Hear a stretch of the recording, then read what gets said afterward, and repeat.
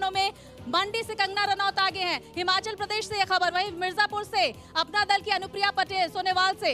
जहाँ पर बीट से बीजेपी की पंकजा मुंडे आगे हैं लगातार। ये बड़ी खबर लगातार हम पहुँचा रहे गौतम बुद्ध नगर से। महेश शर्मा आगे चल रहे हैं सूर्या और दक्षिण कश्मीर से महबूबा मुफ्ती, जिस बात का ज़िक्र हम याना से कर रहे थे, आगे चल रहे हैं। अच्छा मुजफ्फरनगर से देखिए बीजेपी के संजीव बालियान आगे चल रहे हैं और गाजीपुर से अफजाल अंसारी आगे चल रहे हैं। ये कहा जा रहा था हैदराबाद से देखिए, जहाँ पर माधवी लता से मुकाबला ओवैसी का और टफ फाइट दी थी। ओवैसी इस वक्त आगे चल रही है बड़ी जानकारी सामने निकल कर आ रही है। सूर्या, हमने जिस बात का ज़िक्र किया, रुझान भी लगातार हरियाणा, छत्तीसगढ़ अलग अलग राज्यों का, हर राज्यों का रुझान सबसे पहले भारत एक्सप्रेस। और ये देखिए, सटीक रुझान है। हम किसी भी तरह की यहाँ पर अफवाह नहीं फैला रहे हैं। लगातार तमाम तस्वीरें दिखा रहे हैं और लगातार हर बड़ी खबर टीवी स्क्रीन पर आप देख सकते हैं। सूर्या, हमने देखा